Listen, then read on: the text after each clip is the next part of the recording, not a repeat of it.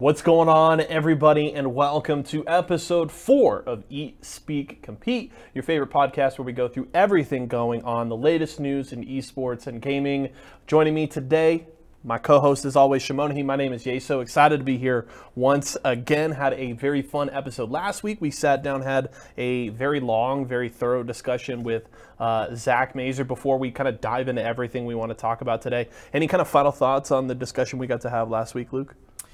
Um, well, it was definitely my favorite episode so far. So that Yeah. was pretty cool getting a chance to obviously talk with Zach, and I think that um, you know, getting a uh, different player's point of view, Mm-hmm. you know what I mean, from the from the scene is something unique that usually you don't really get to see, Mm-hmm. right? Like these players are pretty public figures who stream a lot, tweet their opinions a lot, etc. So to get to have that type of conversation with one of them, um, it's just super cool, right? You get you just kind of get a whole different perspective um, from obviously the business side or the org side or whatever it might be. So that was super cool. I think it's a great listen. If you guys haven't got a chance to listen to it yet, obviously um, cruise over and, and take a gander at episode three. Um, and obviously, if you guys are you know have certain you know games or genres of, of pro players you think we should reach out to and try to get one on the show and get their point of views and whatnot, obviously let us know. I know we've been uh, working on procuring a, a few for our next up, upcoming episodes and Yep. whatnot. So I, I think you guys will be excited to see some more, and um, I'm obviously excited to uh, you know just have more great interviews like that. Yeah, I think it was great. A lot of good insight. Uh, definitely learned some things about Zach during that show that I didn't know going in, which I think is awesome and uh, is certainly you know part of the purpose and the opportunity there. But let's just dive right into the news this week, and we're going to start at the top, kind of as we always do with League of Legends, one of the biggest esports in the world, and Worlds is coming up. Uh, we have set now the full 22 team lineup for the World Championship here in 2021. Uh, the kind of last results we are waiting for for a couple of regions. One of the big ones is the LPL over in China. Uh, they have had multiple world champions, and now they have decided their representatives. Uh, EDG ends up winning the summer split in what was uh, actually an upset. Uh, if you guys followed it, uh, pretty much all of the analysts on the English broadcast, other than one, uh, my good friend Mad Magical, he was the only one predicting EDG to win. It was unanimously FPX across the board otherwise, and EG, EDG wins 3 to 1. It's actually their first LPL title since summer of 2017, which has been a while. It's four years uh, for this historic org, but they win the LPL. They, along with uh, Fun Plus Phoenix, RNG, and LNG, will represent China at Worlds this year, and it's looking to be like a very exciting crop of squads. I mean, they could just win the whole thing again. It wouldn't be that surprising. Um, but it, you know, it's going to be an interesting worlds in general. I would say I'm, I'm just most interested. It's a little different. I feel like as far as like a lot of upsets this year, a lot of kind of like mixed up squads and teams, a lot of people coming back that we haven't seen for a little while. Uh, it should it should turn out to be a pretty historic worlds overall. I'd say. Yeah, and I mean, we've talked about it on a couple of episodes so far. Uh, no TSM at Worlds this year, uh, no G2, which is obviously a, a huge loss. They've been one of the biggest competitors at international events over the last few years, so that is certainly historic. Uh, one thing to note, uh, if you guys have been kind of following what's going on, uh, first of all, Worlds obviously has shifted from China to Europe just due to visa issues and certain other things uh, Riot decided to make that change, and uh, reports coming from Dot Esports show that it's going to likely be going back to Iceland, where they hosted MSI this year, which I think is cool. I think they did a fantastic job with that event, and it pretty much went off without a hitch for the entire event. Which you know we've talked about a couple of different things. You know the R6 Major uh, that have dealt with issues of COVID, so it seems like Riot uh, kind of has their ducks in a row in terms of getting off a LAN event with re- relatively no issues from a COVID standpoint. So it seems like they're doing everything that needs to be done to ensure that this goes off well. Um, but sadly, we won't see Vietnam at the World Championship this year. This is now the third international event that the region will miss. They ended up having to cancel uh, their summer split this year due to COVID issues, and then just due to struggles with getting visas and stuff, they had to decide that they would not uh, attend Worlds once again this year. And obviously, this is one of the most exciting regions outside of the Big Four, and it really is a shame to not see them at the biggest tournament in esports this year. Can't be that surprised. You know, it's it's obviously just an, an unfortunate overall circumstance, but there's so many factors just fighting against it, and I, you know, I feel like it's lucky that as many teams and as many regions Sure. are participating are able to. You Yeah. know what I mean? So obviously unfortunate, and, and hopefully we'll see him at the next split um, or the next international, if you will. But um, again, I'd, I'd say that we're just uh, we're just lucky that as many regions, as many players are po- as possible, and Riot in general is able to handle the logistics of such a ludicrous LAN experience as we've seen people fail. It's great to see Riot obviously one being like, okay, it worked. Let's just do it again. you know, run it back, same plan. You know, get everybody in there. You know, keep them safe, etc. So um, I think it's a good choice. I'm excited for um, I'm excited for Worlds. Yeah, and I mean it's going to be a huge fall for Riot in general, right? There you've got Worlds coming up in October. I believe it starts October 5th, uh, which will be immediately followed by the Valorant World Championships, which Yep. will be in November.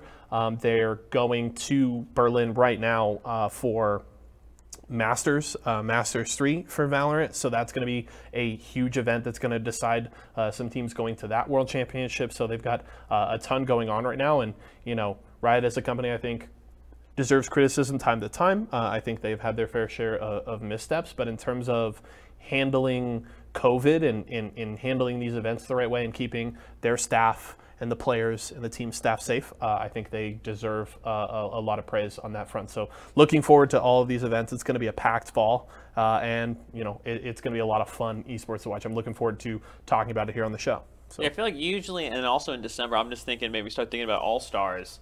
Um, and like I know, I know they'll probably run it for a league, of course, like they normally do. But I'm curious, like if they'll do like an All Stars for Valorant a little bit, because like that could be kind of spicy. I don't think we saw that last year.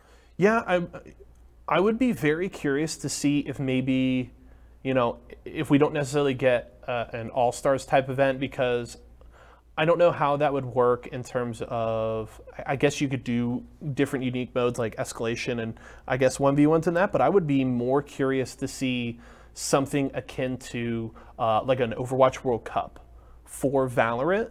Get to see these teams come together of just f- set nationalities that aren't necessarily players that play on the same team. I think that would be something really cool that I would be interested to see from Valorant. I think that would be awesome. Um, but you know, Riot has done all kind of different things across their esports titles, and so I would uh, I would love to see what they kind of bring to the table. I'm excited for uh, Champions. I think that's going to be an absolute banger. I'm really stoked to see because they, you know, I've been to uh, a World's Final for League of Legends. I've watched those esports for years, and they've, you know, tried to push the envelope year on year on year in terms of doing these events bigger and better. Uh, and I'm very curious to see what kind of their first take on what a Valorant World Championship should look like. Dang, that's super fun sounding. Yeah, I think it's gonna be awesome. that sounds super fun. I think that like the Overwatch, uh, the Overwatch World Cup is always so fun to watch at Mm-hmm. BlizzCon because it's like, it- like you said, it's just so different. You know what I mean? It's like, all right, what do we want to do? Let's just really get everybody fighting over it, right? Sure. So that was that's always super fun to see because of course. The U.S. just votes in our most popular players, and everyone else comes in with like the literally the craziest players that you've ever seen in your life. So that's always super funny. But um, yeah, I do think that uh, I'd like to see some kind of combination of All Stars or the World Cup or something like that for Valorant because I think that the the fan base could utilize that for sure. Yeah. We'll circle back on some more Valorant news here in a little bit, but I want to talk Apex Legends. Uh, there was a ton of discussion last week as there were announcements made about changes to tap strafing, which is the best I can describe just high level movement tech on mouse and keyboard uh, in Apex Legends. It's something that I, I can't do. I am not that good of a player, but this is certainly something that uh, you know a majority of mouse and keyboard players at the top level use uh, in terms of movement tech to try and you know be just very slippery in fights uh, and, and avoid damage. Um, and a lot of mouse and keyboard players were very vocally uh, opposed to it. They felt like it lowered the skill ceiling. And one of the discussions it kind of prompted up in the follow up uh, as one of the de- developers at Respawn released a TwitLonger discussing the topic is that uh, there could be some possible changes, nerfs, adjustments to uh, aim assist on controller. This is a discussion uh, always when you have multiple different inputs for uh, a game, and uh, they developers at Respawn think that there is a possibility that we could see some adjustments to aim assist in the future. Uh, one of the quotes from the uh, article said uh, players should not feel forced to use a specific input type. And if I see players converting out of what they think is necessity, I would 100% be concerned. And that is from one of those developers uh, working on these things. What are your kind of thoughts here uh, in terms of possible future changes to aim assist? Yeah, I thought I thought the tap strafing change was kind of like was a little odd. I think overall, I know mm-hmm. that Apex is one has the best movement, right, of like any game in that whole. I mean, genre. it's really how it's set itself apart. Yeah, it's pretty hard to, but at the same time, I feel like I don't think this is the first time. I could be wrong, but I don't think this is the first time that they've like directly nerfed mouse and keyboard movement, which feels a little odd in general. Mm-hmm. But I don't know. It feels like the whole game is movement, so like why why keep nerfing it? But um, I don't think tap strafing was that big of a that hitch either way. I felt like a pretty situational tech that people were utilizing in specific mm-hmm. ways, but it feels more like Octane is the issue, right? more than it feels like tap strafing was an issue. But I don't know if that's just me, but whatever. Um, I'm not again. I'm not a I wouldn't say I'm a mouse and keyboard god by any means. Sure. Um, but it's still at the same time, I, I can't necessarily say that um, I really saw the tap strafe piece coming, especially as like isolated as it felt. But with this piece from the, the developer side, when it comes to aim assist in general, aim assist has been around pretty much just the dawn of esports with mm-hmm. Halo and, and Call of Duty and you know games like Apex Legends and, and Splitgate, I'll use that as another parallel.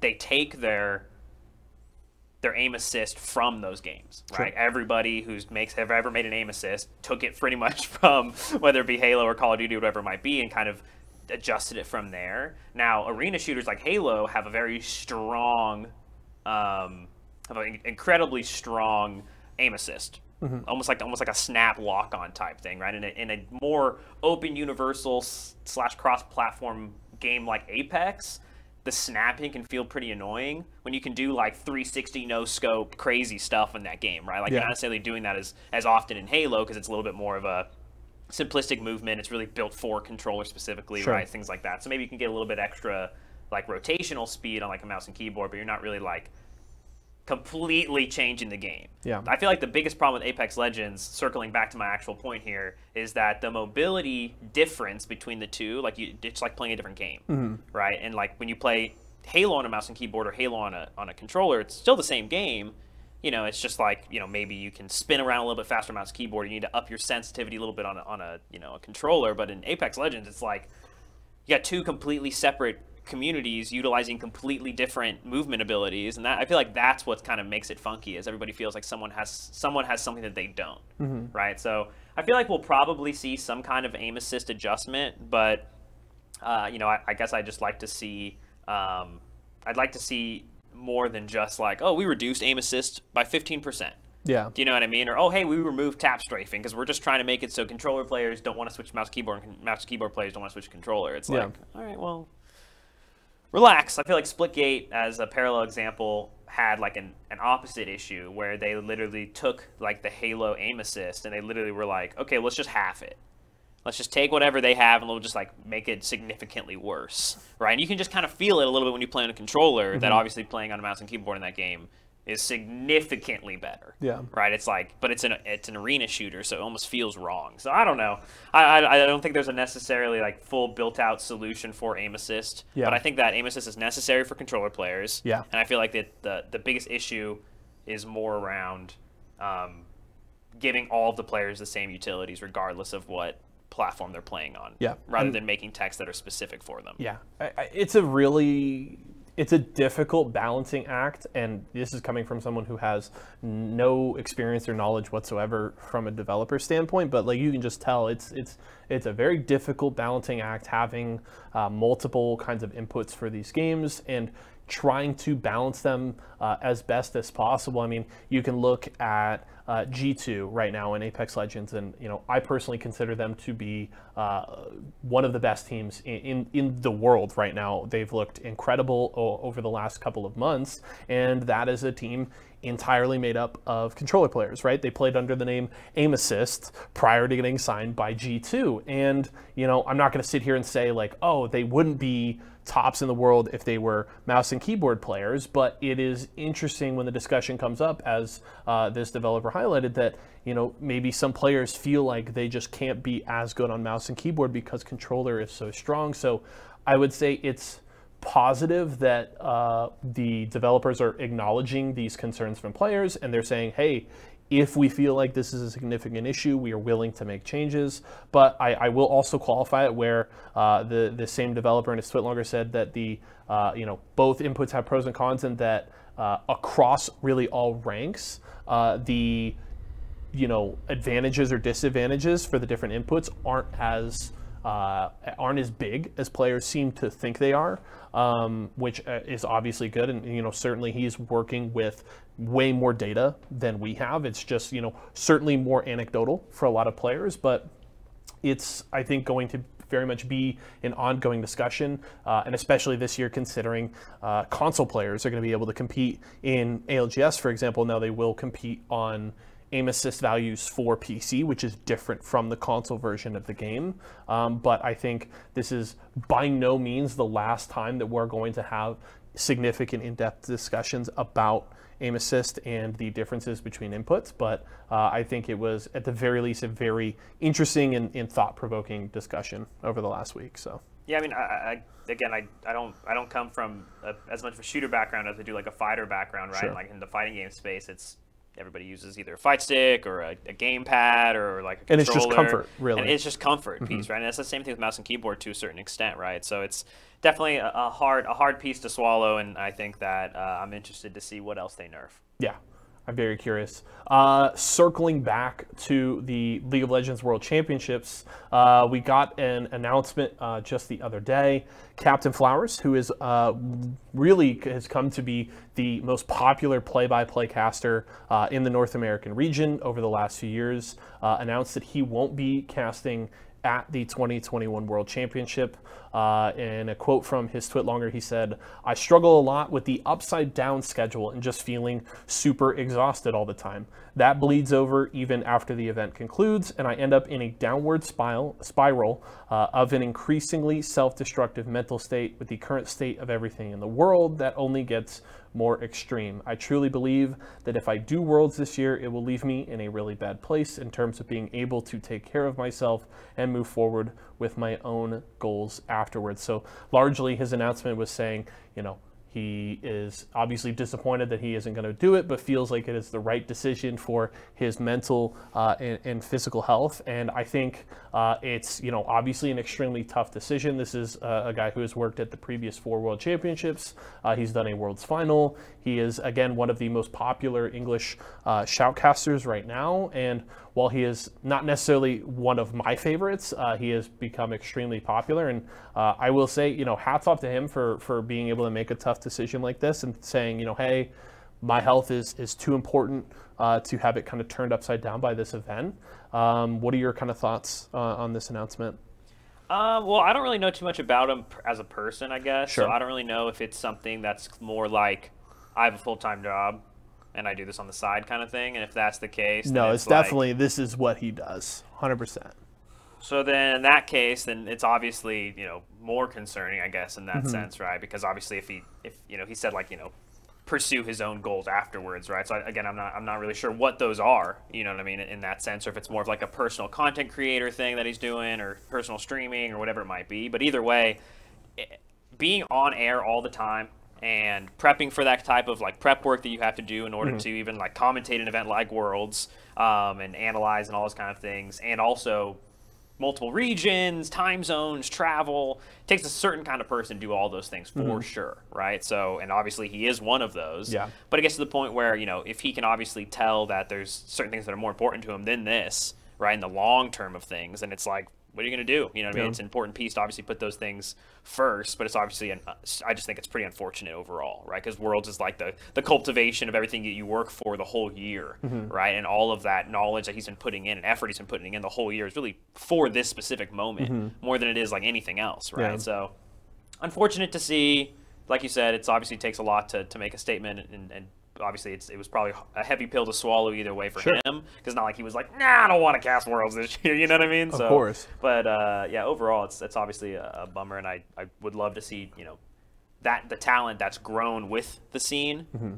being able to you know revel in its its big events, especially like Worlds. the the thought it brought up for me was really, you know, I, I can't imagine that uh, Flowers is the only talent that this kind of event affects in this way.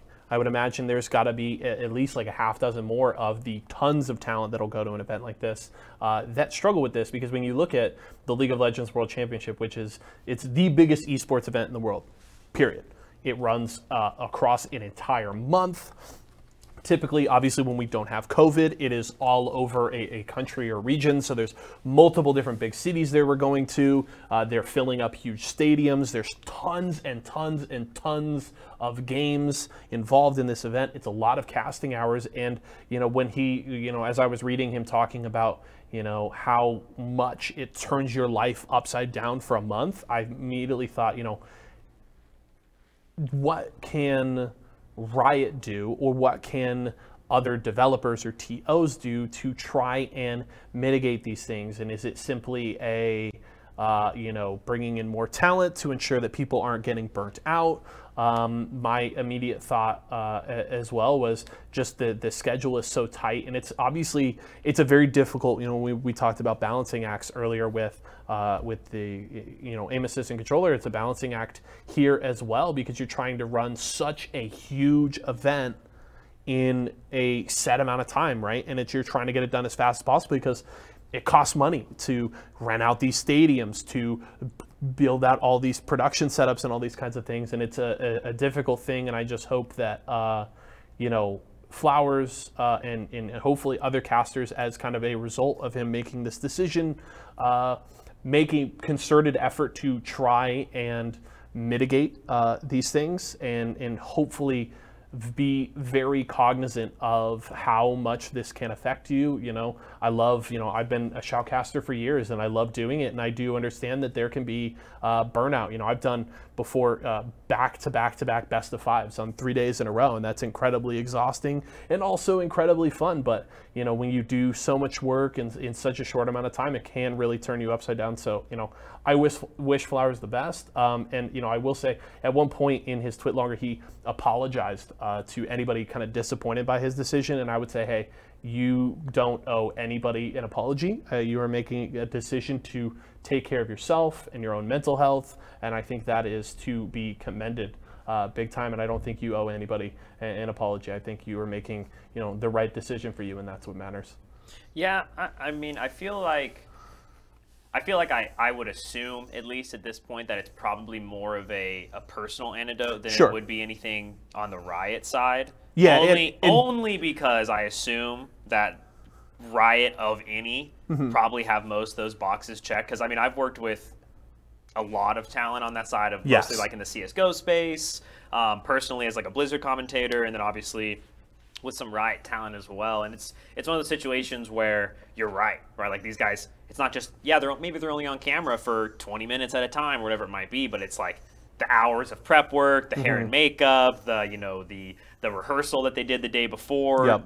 practicing their lines over and over again, the mic testing, etc. So they've been there for hours already working on those kind of things. So there's there's definitely a lot in the back end, but obviously I do think Riot both compensates and hospitality wise mm-hmm. Is probably top tier. And to, and to be clear, it's not necessarily, uh, I wasn't trying to kind of point the finger at, at, Riot in particular, just kind of generally in the in the esports sense, but I, I completely hear you there. Yeah, but then it, you, you have the whole opposite side of the coin, which is like all other tournament organizers and grassroots side, which is sure. like, no, I don't actually have the budget for 14 commentators mm-hmm. every single show. Mm-hmm. Um, and no, I actually can't pay them the same day rate as a doctor. And no, I actually can't, you know what I mean? So there's a, there's a lot of yeah. obviously flip on that other end, right, where you're like, okay, I have to build the programming this way. But then it's like Riot's building out the entertainment for a whole world. Mm-hmm. You know what I mean? To like watch this kind of stuff. So give and take.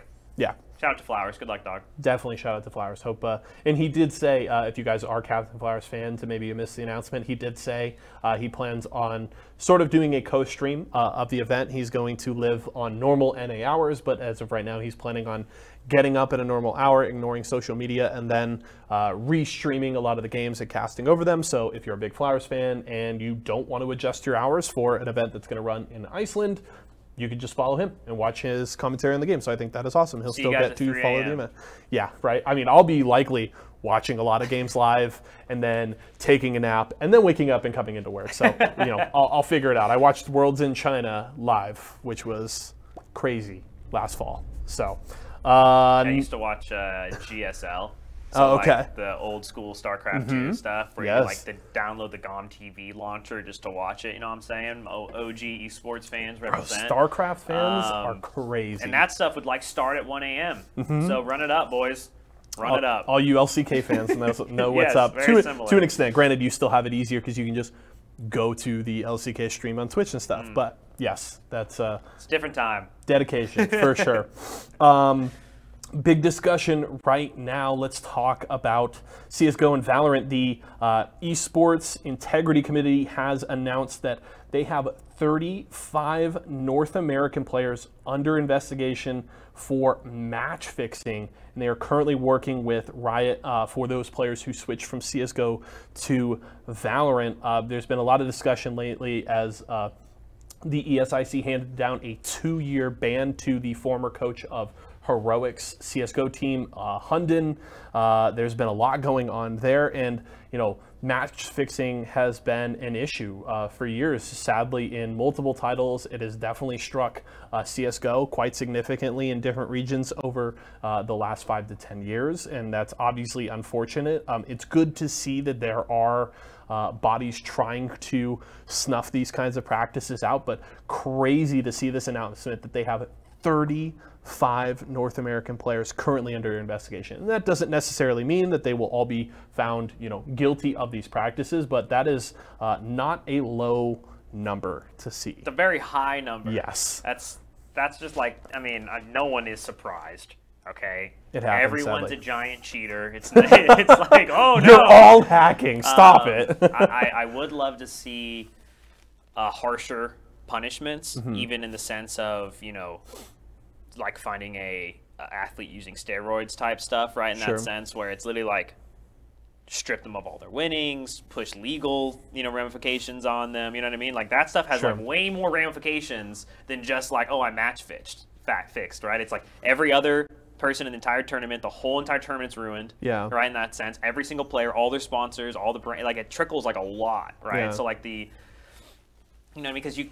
A different team that could have been the breakout performance that could have won, you know what I mean? Like doesn't even get an opportunity in a lot of those senses. So it's just like I hate seeing it. You know, it, it's happened a lot, and I think CS:GO is probably the worst. Um, Sadly, yeah. Especially back in the day, they had the like really big fiasco. Like originally, were like one of the best team of like literally all time. Like didn't even need to cheat, like match fix to like Mm-hmm. make like a thousand bucks or something like that, and like they easily would have, you know what I mean? Like become millionaires if they Yeah. didn't do that. And that's you know what I mean. So it's just like. I hate to see it. I, I, you know, I obviously love seeing committees like that even exist and be able to, to continue continue to press charges and whatnot. And I'd love just to see the game developers more than it's a two year ban. It's more of like a lifetime across all esports ban because it's like once you cheat one time, get them out of here, like forever. You know what I mean? Like the fact that Yeah. you can even match fix in this sense is crazy to me. Like how are they even? You know, it's just like, bruh, I hate it. I hate it. I am not as harsh in terms of the punishment. Like, I'm actually not necessarily in favor of lifetime bans for uh, first offenses. I think, for, for one thing, uh, esports is very young. Uh, and not only as, as an industry, but when you look at the kinds of pros that we have, we skew very young. Um, and so I think there's certainly been uh, a lot of issues where players are young and stupid and they do these kinds of things for greed or whatever.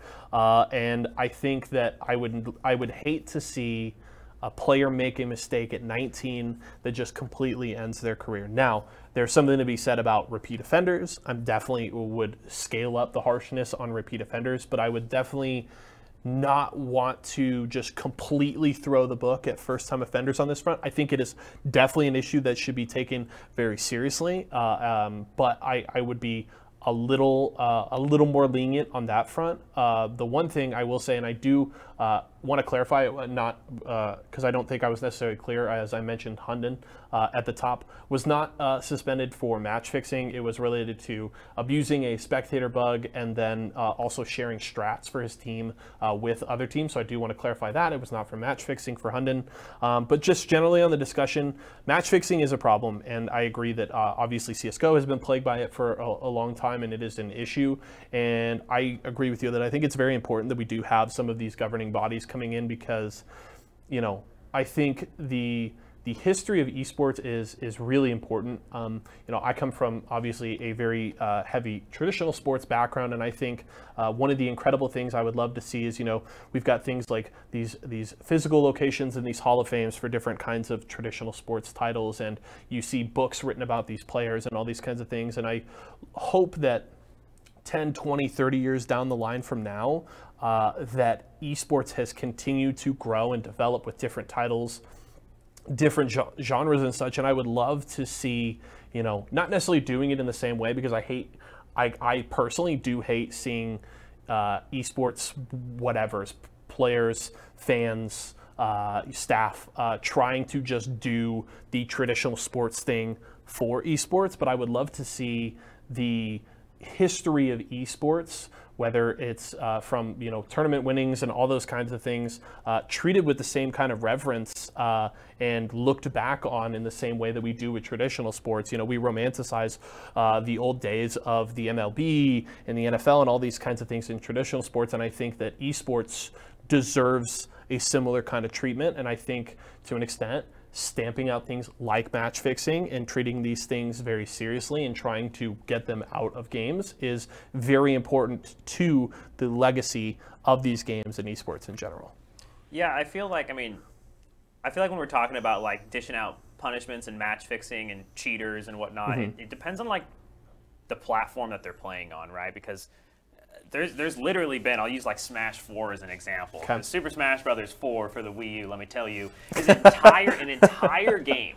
Yeah. An entire like 2 3 years of competitive history is completely fake.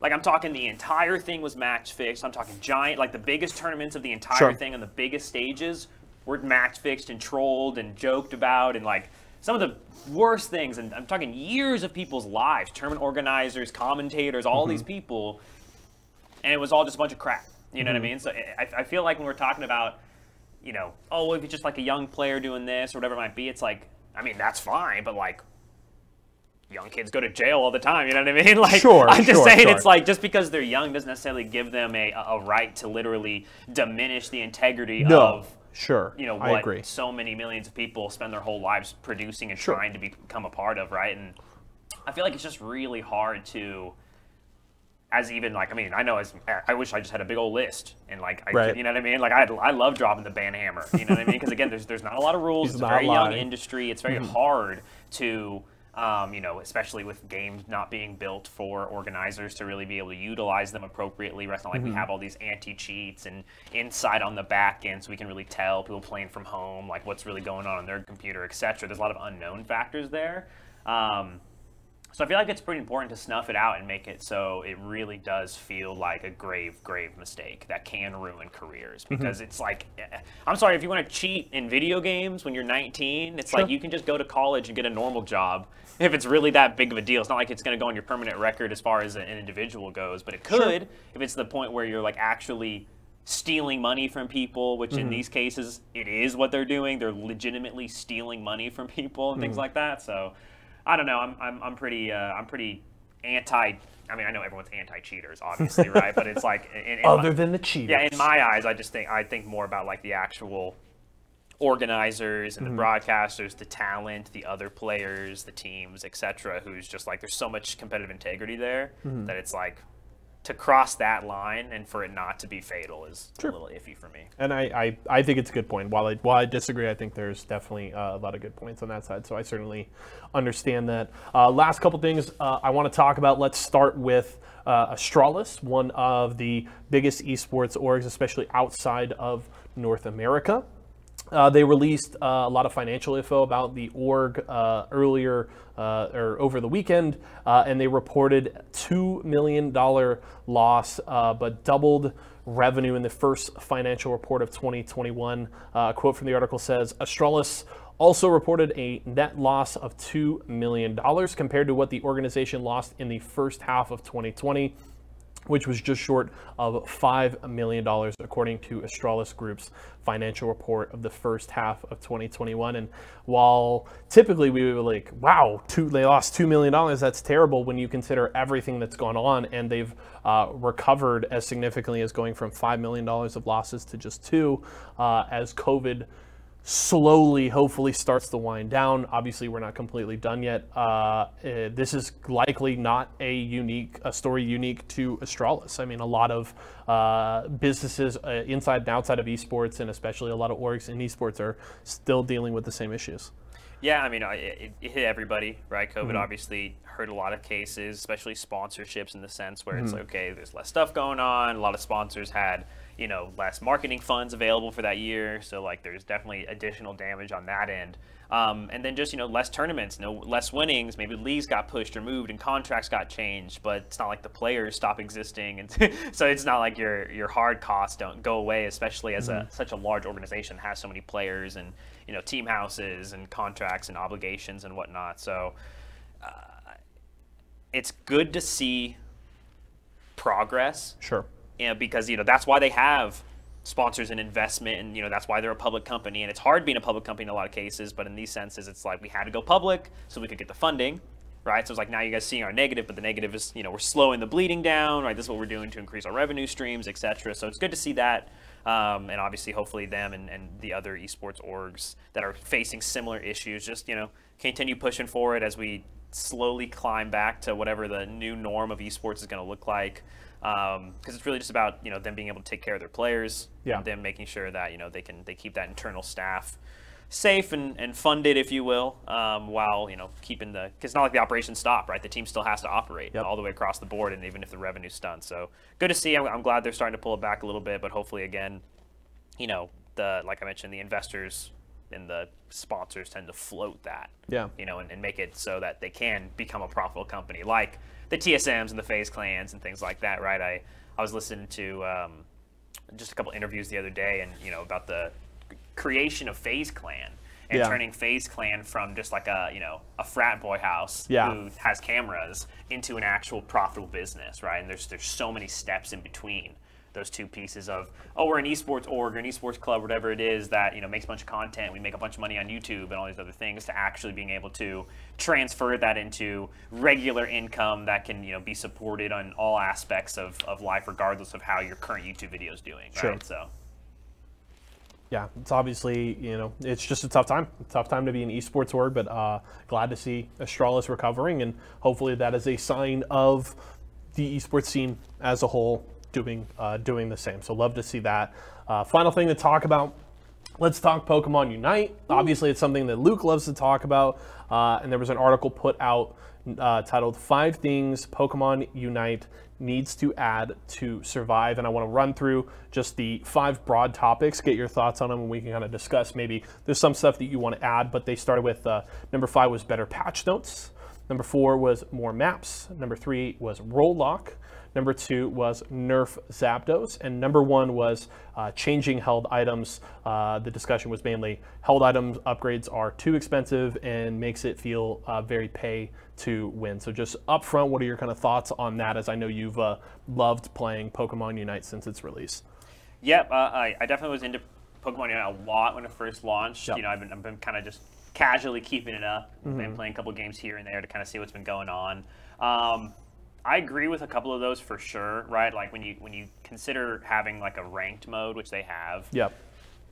It's kind of annoying for it to just feel like standard mode or mm-hmm. like casual mode at the same time. Like it doesn't really feel like there's any kind of difference at all. So things like role lock, I feel like is a really good idea because mm-hmm. um, it's so annoying, right? Like let's say me and you queue up and we like want to go bot lane together, and like even if we like mark our little thing that we're going bot lane. it's like, but then you get into the game and four people run bot lane. You're getting griefed. And there's no real way to communicate. Yeah. You know, with the team in, in, in that sense. So I definitely think that the lack of communication and the lack of role lock makes playing ranked even more kind of frustrating than a normal team game would be in that sense.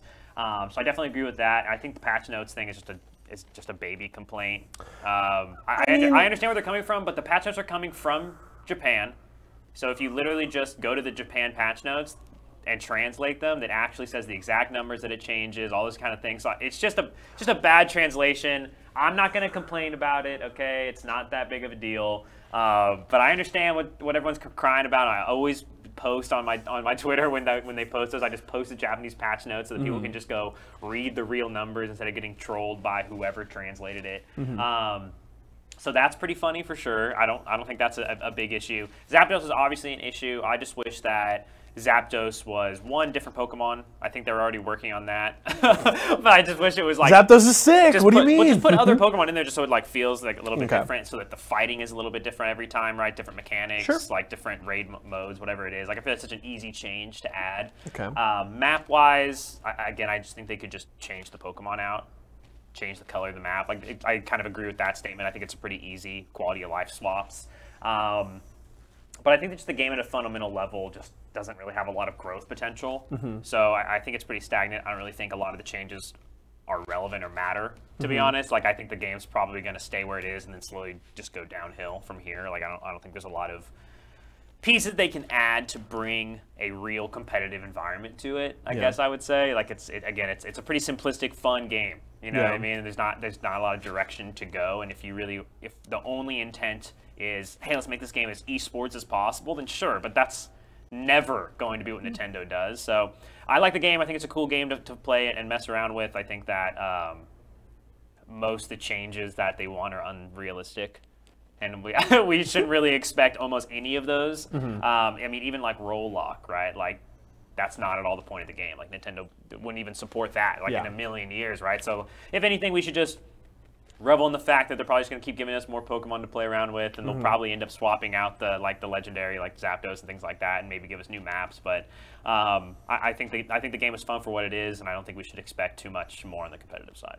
I, I do very much agree with that last point. I think the longevity of the game does not look the same as a League of Legends or a Dota or a Valorant or whatever. I think it's going to continue to hold on to its most hardcore audience and some of the biggest Pokemon fans that like the fact that they can play a MOBA as some of their favorite Pokemon. But I think it, you know, as the game continues, is going to lose some of the broad appeal as players go back to whatever their other favorite titles are. I think it's still going to continue to be one that, you know, hey, people can, you know, come back and pick up at kind of Hey, at, at any time. came out. Let's go play Blastoise. Sure. All right, It- that's enough of Blastoise. Yep. I, so I think that will happen, but I think the the longevity of the game is not necessarily there. So I would love to see some changes. I'm curious to see what happens as you know the game gets more time underneath it. So I think that would be great. But uh, that's going to do it.